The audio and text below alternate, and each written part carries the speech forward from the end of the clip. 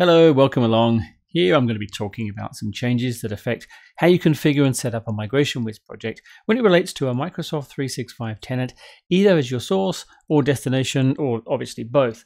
The change comes from the requirement for application impersonation. Microsoft are closing down the ability to assign this management role inside a tenant at the end of May 2024. So if you don't have one set up in there by then, you won't be able to create a new one after that date. If you do have one already set up in the tenant, they tell us that it will work through to the end of December 2025.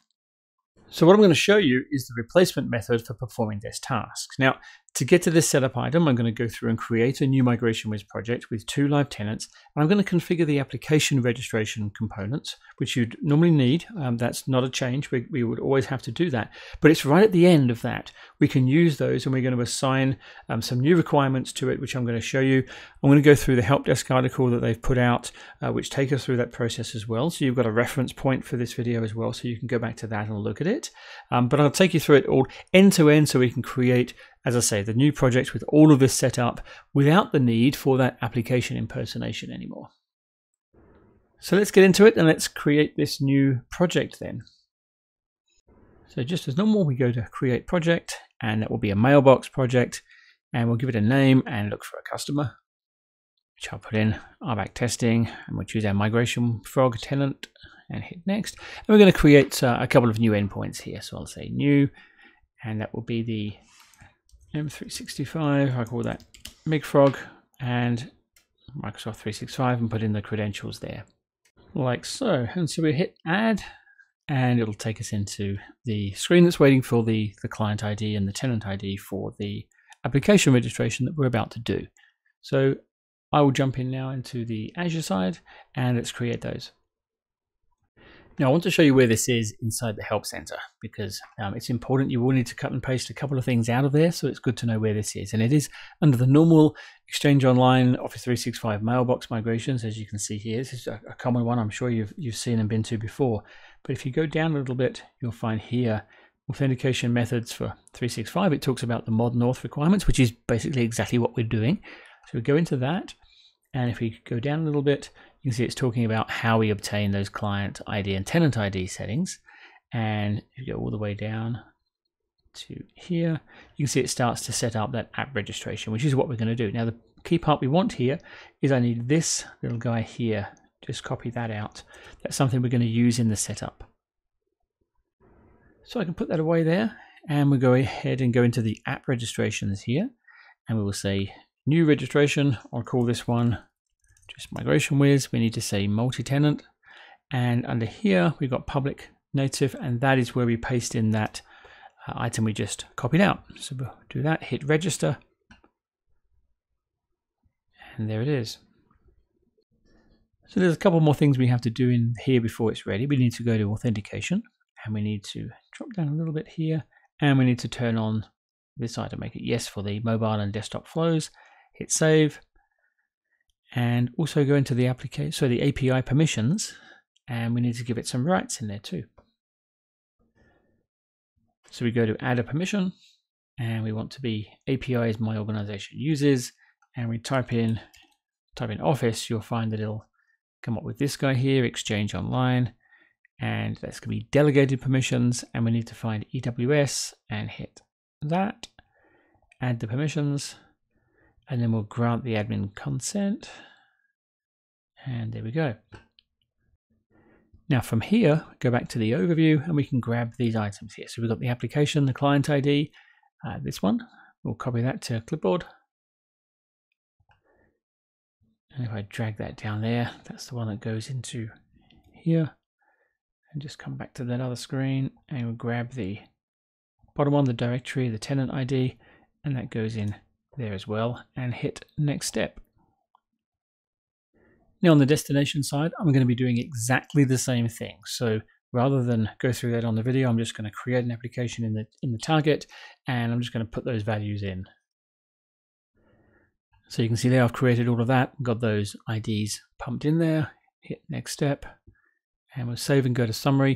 And that'll take us into the normal migration project, once we save it, that you would expect. So now let's get into these changes that we need to have for the application impersonation. So there is a help desk article and let me show you where that is. You can see here under Performer Migration, 365 migrations, you can see it's called the replacement for the, the RBAC for Exchange Online. And this does give all the information that we've just been talking about and talks you through how to do it. As you can see all of these, what I'm going to do, I will refer to this, um, but I'm going to be showing you on screen uh, what we need to do and put in. So we're going to start off with the PowerShell. It's all done through PowerShell. So I'll bring up a PowerShell window and I'll connect to the source environment first and then I'll show you what the, uh, the commands we need to run in there are. So I've connected to that migration frog uh, tenant, which is our source environment, and you can see I'm, I'm logged in with that uh, Exchange Online module. So the first thing we'll do is we're going to create the management scope. Secondly, we create a service principal, and then we assign the management role across that to really bind that all together. So the first command there is the management scope, which we can copy from the uh, the help desk page if you want to. I'm just going to type it in here and show you what it looks like. So we say copy new management scope and you can see I've already done these previously which is why it's remembering for me. Um, so we'll do that but I'm actually going to call this one just migration wiz. Now when you put in the recipient restriction filter, um, you can have it allocated, like I say there, display name like, which will do everything. You can use other examples, like you could say recipient type is equal to user mailbox, or you could say custom attribute is equal to uh, a certain value if you want to restrict that migration a bit. So it gives you that flexibility to say what what this management scope is really going to be um, having the rights to be able to do. Um, in this small migration, display name like star is, is perfectly adequate, uh, but you might want to, to restrict that a bit, and that's what that filter is about. So if I put in that guy, you can see now it's uh, it's taken that on board. And of course, display like star is also the same as not equal to null. And you can see that's why that translation's happened. But you can see now we have a recipient scope with that migration wiz label on it. So our next command is the new service principal, and you can see I've started that one. I'm going to give it the application ID. Now this comes from that app registration that we just did. Now if I bring that back up, that's the screen we left it, which is the normal application registration screen. And we're actually after the object ID and the application ID, but this is not the one that you need to come from. Uh, what we actually need to do is we need to go back to the enterprise applications here and go and select it through that. So if we go back to enterprise apps, you can see there it is there and go into that screen. And this is where the information comes from. As you can see, that object ID is actually different. So let's copy out that application ID and we'll just paste it in there. There we go. And then we're after the object ID like so. And we will now grab that one from here and paste that in as well. And we'll give that a display name as well. Name, and we'll call that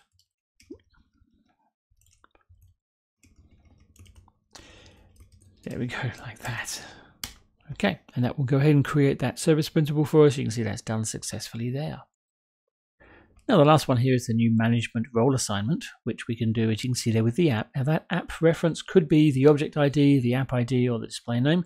I've chosen just to put in the app ID. As you can see, I've copied it down from here. But on the end of that, we do need to put in what role it is, and that is going to be application, and it will be EWS dot access as app, like so. So when we run that, you can see that is now assigned that uh, to the service principal. Now we do need to go back to that application registration, so I'll just bring this up here because we do need to give it some more privileges, some more API permissions. So we're going to do that. We go back to the app registrations here and we'll find that application. And here it is here. Now what we need to do is go into the API permissions and we need to hit add permission. Now these ones are a little different. We're going to do APIs my organization uses. We're going to do the same one we had before, which is that Office 365, but we're going to add application permissions instead this time. So when we do that, we'll find that uh, we need to have this top one here, full access as app, and we also need to have on the Exchange side, manage as app as well. So we need to add these two in. As I say, they're application permissions. So we do that, add those there, and you'll see them drop down into here, which we would then go and grant the admin consult. Now, the reason I didn't, admin consent, sorry. Now, the reason I didn't do this right at the start was I wanted to show you the, the additional steps needed um, as you go through this, this new process. And lastly, in here, we do need to create a client secret. Acts as like as a password into that, that application there. So here, say new client secret, we'll give it a name, just call it migration wiz, hit add. Now remember that this value is only displayed this one time. If I don't copy it out to the clipboard now, I would have to go and create a new client secret to be able to go and um, have another value. So this it's a one-time view only in there. And I like to, as you can see, drop those into a notepad so I can grab that shortly. I'll leave that up for a second. I'll show you how we're going to use that. Because if I bring over that uh, help desk article again, you can see down the bottom here, it's talking about how we do this client secret. So what I'm also going to do, I'm going to grab this guy here, and I'm going to put that as a prefix to here, like so, because we're going to take this whole line now, copy that out, and just drop those away because that now goes into the project. So if I come back to the, the main project here, you can see if I edit it and go to advanced options, I need to add extra ones. I'll just add the one in here for now. Do that, paste that in, as you can see there, and we'll go and hit validate. Now we are going to get an error on the validation. Just as a start there, it says that it doesn't recognize this. This is perfectly okay. Um, it will go in. What we need to now do is click on this guy here Yes, we're confident and we do want to save that in there. So now that is in that advanced options. Now, obviously there's another one in there. If I go back in, there's our client secret, but there's another one in there which is for the import, which we're going to do for the second part of this. So the setup on the target tenant is identical to what we've just done. Obviously, we, we add the, the different permissions into the app registration and we grab the uh, grab the details out of it for the, the client secret, which I've done already. As you can see, that's the client secret. So we're just catch, catching up the target tenant to where we are in, the, in this video. And we would then have the, the key, which we grab from like so as well. And we'll grab that, put that in. So that's our secondary part, which obviously binds that uh, target tenant in as well. If we go back in here, I can then add another item and it comes up with the same thing. We're going to need to validate that. And yes, we are confident. We're happy with our commands and save those and going back to advanced options you can see now we've got the the two client secrets one for the the export of the source tenant and the import into the target tenant. So with all the application work that we've done there and the app registration all the changes there and the service principals the management role assignment that we've done we are now actually ready to go ahead and migrate our users again without the need for application impersonation which again is the the main reason for having this this video this training session